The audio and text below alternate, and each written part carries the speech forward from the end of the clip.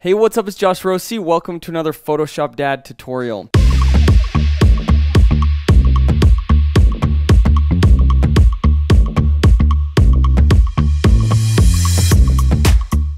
Now in this tutorial, we're going to be covering a really cool color grading trick to make your images pop even more. Now this is a, a, technique that is used by commercial photographers. This is something that I've used in all my work with like DC Comics, Adobe, Nickelodeon, list goes on and on.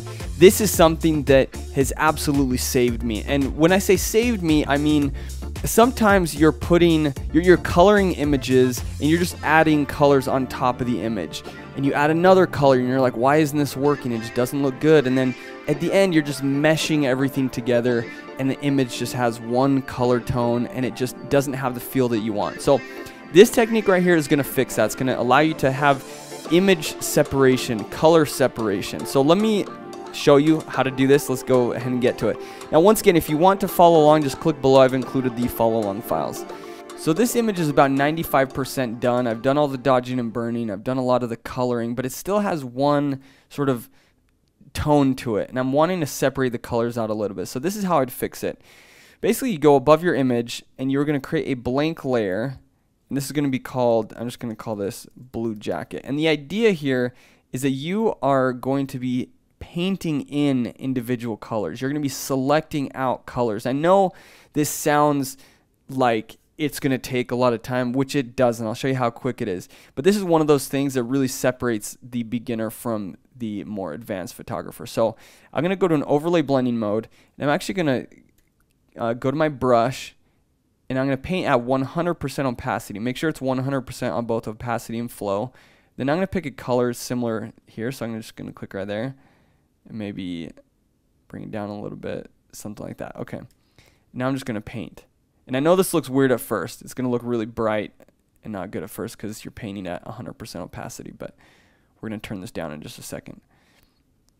So the reason why the color's not going outside of the lines is because this is a clipping mask. So if it's not a clipping mask, you got to be more precise. I'm just going to do this for the sake of time. I'm just going to go really quick, just like this. All right. So let's say I was all precise on that. Okay, so obviously it looks like crap right now, but just bring the opacity of the actual layer down just like this, okay? So, so see how that's popping already? It's making the image like alive. It's turning it into something else. Now let me show you something. I'm going to drag this to the top and I'm going to make it so it's not a clipping mask. So right there. And I actually have to probably edit or uh, erase some of the blue around there. Okay, just like that. So now it's not a clipping mask. The benefit to doing it this way is you can actually add a hue and saturation layer. You can make that a clipping mask. And then you can change the, the hue of the jacket, which is so cool, right? So if your image is too blue and you want to add in some green and have this pop a little bit more, bam, you can do that. If you want to make it more intense, which I wouldn't suggest doing that, but if you want to make it more intense, you can. It's a really cool technique. Now, I'm using this technique also. There's a couple other ways of doing this. Um, I'm using this not only for the color of the jacket, but also for the face color. Skin color is very important um, to do this with, and I've done this a lot of times in my images. So let me show you here. So let me actually back up a little bit. Let's go right above this and let's create a color balance layer and I'm going to call this face color. And face color, I feel like it's, let's mess around here. Let's see, I want it a little bit more dull like that. See, it's a little bit too red perhaps. Let's let's add in some highlights though. Let's maybe a little bit of a yellow. Okay, so something like that. It has a little bit more of a yellow tone, and maybe maybe we'll tone it down in just a second. But so I've added the uh, color on top of this whole image. What you want to do is click on the mask and hit Command I to invert that. So now basically this is not affecting anything. And then you're going to paint with your white brush at 100% opacity over the mask. So now that's going to reveal what's underneath. So now I'm painting in his skin color, beard color, all separately. If you even want, you can you can do this with the hair color, but basically we're doing it just like that. So now if you turn that on and off, it's just affecting the face color. And now you can go in and you can make more adjustments. You can, I don't want to go more red. Let's go, let's add in a little bit of blues. Let's go back to the highlights.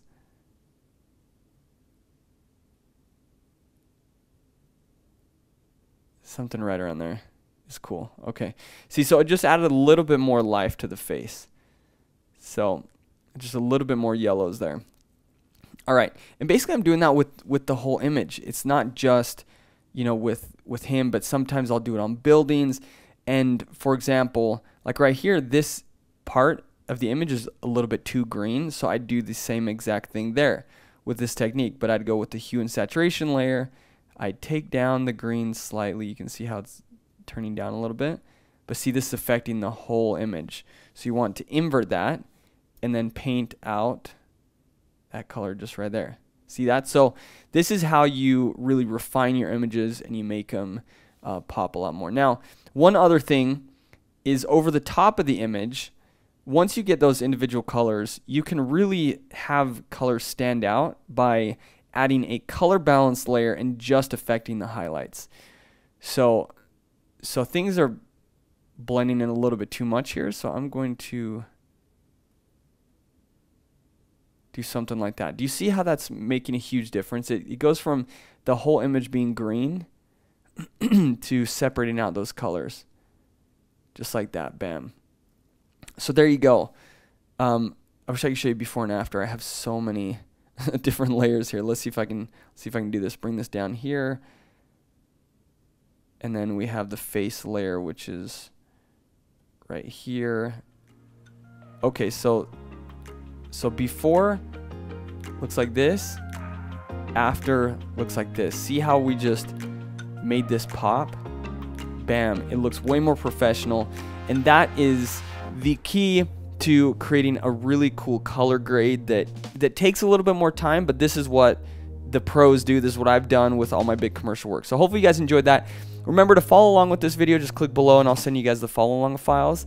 And make sure to check out the other tutorials.